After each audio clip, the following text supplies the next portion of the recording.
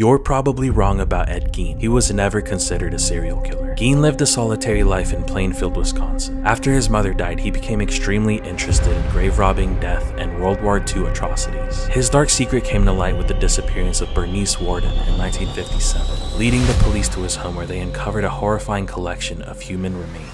Even though people often consider him a serial killer, Gein has been determined to have killed just two people. Mary Hogan in 1954, and Bernice Worden in 1957. But the reason he became so infamous is because of what he would do to the dead. He would use corpses to make various objects like clothes, masks, and furniture made of human skin. He even had a collection of noses and a shoebox containing preserved female genitalia. Unsurprisingly, Gein was determined to have mental health conditions and spent the rest of his life confined in psychiatric institutions. His story inspired the creation of horror icons like Norman Bates, Leatherface, and Buffalo Bill. Gein died in 84, and his grave is now unmarked after numerous instances of vandalization.